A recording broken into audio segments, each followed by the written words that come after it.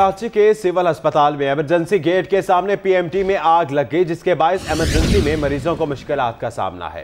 Fire brigade को इतला देने के बावजूद अमला नहीं पहुँच सकता। बात करते हैं अपने नुमाइंदे 24 दानियाल सैयद से। दानियाल बताएगा अमला पहुँचा या नहीं और आग पर काबू पाया जा सका या नहीं?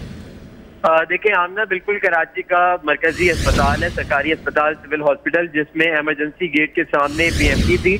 उसमें अब से कुछ देर कबल आग लगी है आग बदसूर लगी हुई है जो इस अस्पताल इंतजामिया है उसने फायर ब्रिगेड हुकाम को और के इलेक्ट्रिक हुकाम को बाखबर किया है कि ये आग लगी लेकिन अब तक तकरीबन तीस मिनट से जायद का वक्त गुजर चुका है अब तक फायर ब्रिगेड का अमला नहीं पहुँच सका है तहम आग लगने की वजह से जो इमरजेंसी में दाखिल होने वाले जो मरीज़ और उनके जो करीबी जो लोग जो होते हैं उनको सब परेशानी का सामना करना पड़ रहा है। जी ठीक है बहुत शुक्रिया आपका।